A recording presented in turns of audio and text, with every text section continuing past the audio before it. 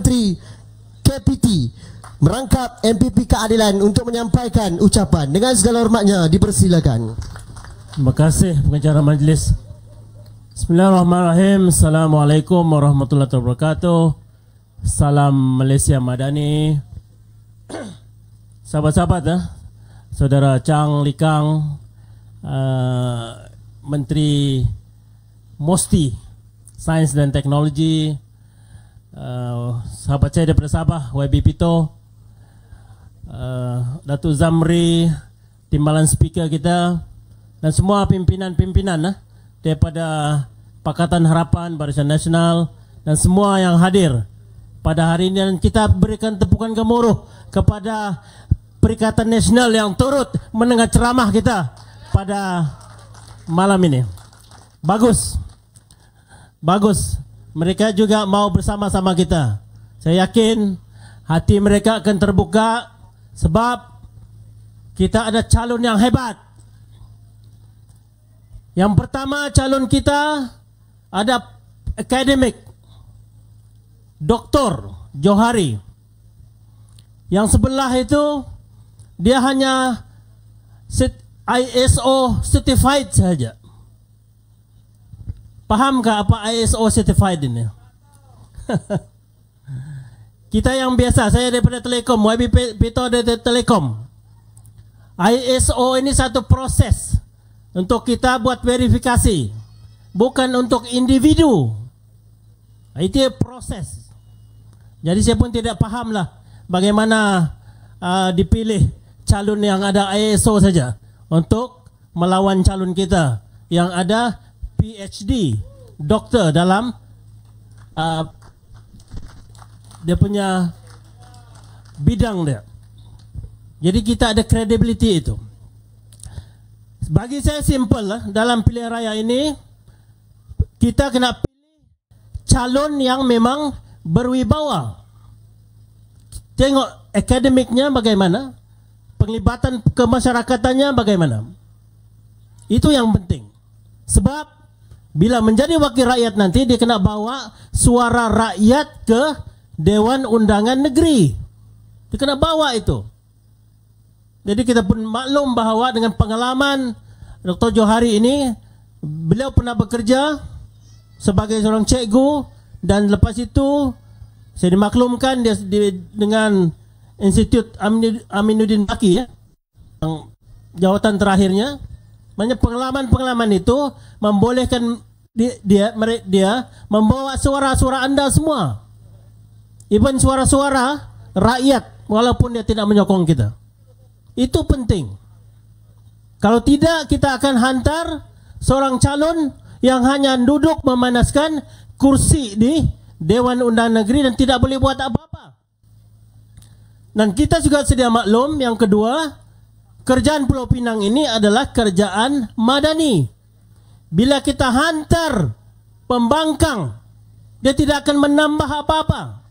Yang saya takut nanti apabila dia menang, pertama perkara pertama yang dibuat, dia akan buat berlari daripada Sungai Bakap ke parlimen untuk dapat peruntukan. Ha. Itu yang akan hebat. Sebab ada sudah contohnya berlari 200 km daripada Muar sampai Parlimen. Hebat. Kita nak bagi macam mana peruntukan? Kalau kerjanya hanya mengutuk kita, membangkang kita di Parlimen. Cubalah fikir. Mau minta peruntukan tapi mengutuk kita, mencaci Perdana Menteri kita, itu je kerjanya. Lepas tu minta peruntukan. Kan gila tu. Ha, jadi kita tidak maulah nanti salah pilih orang-orang Sungai Bakap akan menyesal. Ha? Terpaksa pula dia punya wakil rakyat berlari ha? sampai ke parlimen untuk minta dana selepas ini. Jadi saya mintalah supaya pengundi-pengundi Sungai Bakap ini mohon rasional dalam membuat pemilihan siapa wakil yang akan mereka pilih untuk ke Dewan Undangan Negeri. Dan kita kena maklum ah, calon Pakatan Harapan ini adalah mewakili Perdana Menteri. Inilah masanya kita untuk mengangkat Perdana Menteri kita yang dikenali seantero dunia. Saya sudah ke mana-mana. Saya baru balik daripada Surabaya dan juga Jakarta. Dan bagaimana orang-orang Indonesia ini amat mengangkat eh, hormat dengan Datuk Sri Anwar Ibrahim hatta ke peringkat antarabangsa. Tapi sayangnya orang Malaysia sendiri memfitnah beliau setiap hari, setiap malam dalam ceramah mereka. Dan yang tidak masuk akal menuduh beliau macam-macam. Dan yang kita heran itu mereka ada di kalangan ustad-ustad. Inilah level-level ustad yang ada sekarang ini. Dan ini yang kita mau yang berlaku di negara ini. Ustad-ustad yang hanya tahu memfitnah sepatutnya mereka keluar dengan nasihat kepada rakyat berikan kebenaran dan keadilan tetapi yang mereka keluar daripada mulut mereka hanyalah fitnah semata-mata. Dan ini tidak baik untuk negara ini dalam kita membangun negara ini. Ini yang kita kena pastikan. Kita tidak mau nah, kita mengundi mengangkat kelompok ini. Saya YB Pito, nah, kita daripada Sabah. Ini antara kirisauan kita yang paling besar. Sebab kita di Sabah kita paham ini. Kita menjiwai keharmonian itu macam mana? Kita hidup dengan keharmonian pelbagai kaum dan agama. Tetapi apa yang berlaku sekarang ini sudah ada tendensi, ada sudah ciri-ciri untuk memecahkan, memecah belahkan kita daripada suku kesukuan, suku kaum, bangsa dan agama. Dan ini bukan yang dihasratkan oleh pimpinan kita terdahulu yang dalam kita membentuk Malaysia ini. Bila Malaysia ini dibentuk, kita mau supaya ada keharmonian antara Semenanjung, Sabah dan Sarawak ini. Tetapi kalau sudah ada elemen-elemen yang cuba memecah belahkan kita mengikut warna ini, mengikut suku kaum, agama ini ini tidak baik untuk negara kita, untuk masa depan kita. Adakah kita mau anak-anak kita bergaduh nanti? Adakah kita mau memupuk bibit-bibit perpecahan sekarang ini? Saya mau ingatkan mereka. Generasi muda sekarang ini adalah cerminan generasi masa depan. Bila kamu memecah belahkan anak-anak muda ini sekarang mereka akan bergaduh nanti masa di masa hadapan di, di luar kawalan kita apa jadi kepada negara selepas itu ini adalah pesanan almarhum Profesor Dr. Yusuf Al-Qardawi bila, bila kita mau melihat masa depan negara ini kita kena lihat anak mudanya. Inilah cerminan masa depan. Tetapi apabila kita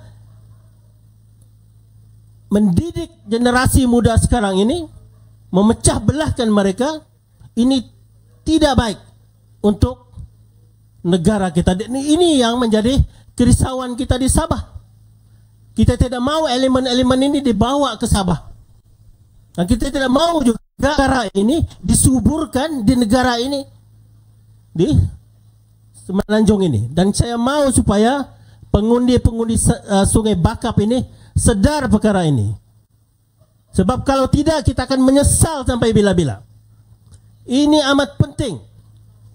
Kita pelbagai kaum dan agama, anak-anak muda kita, mereka kena hidup bersama. Kita kena pupuk keharmonian itu bersama sekarang ini bukan untuk masa depan sekarang ini sebab mereka adalah bakal pimpinan pada masa depan. Jadi saya mau ingatkan kepada generasi muda Sungai Bakap jangan terpengaruh dengan kaedah yang dibuat dalam memecah belahkan generasi muda ini. Saya mau ingatkan mereka.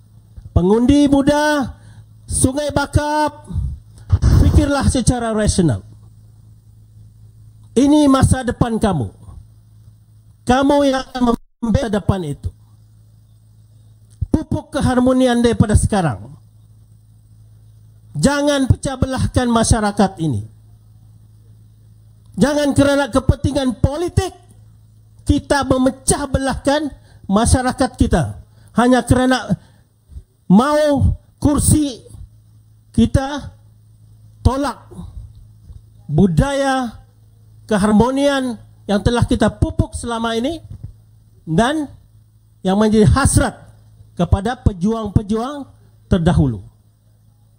Jadi ingatan saya kepada generasi muda terutamanya sebagai timbalan Menteri Pendidikan Tinggi kita telah berusaha bersungguh-sungguh memberikan akses pendidikan kepada semua.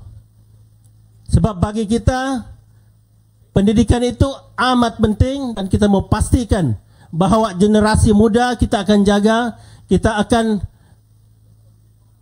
libatkan mereka dalam institusi TVET masuk ke universiti dan kita mau supaya generasi muda negara ini punya pemikiran yang baik, rasional, dan mampu menjadi pemimpin pelapis di negara ini insya-Allah.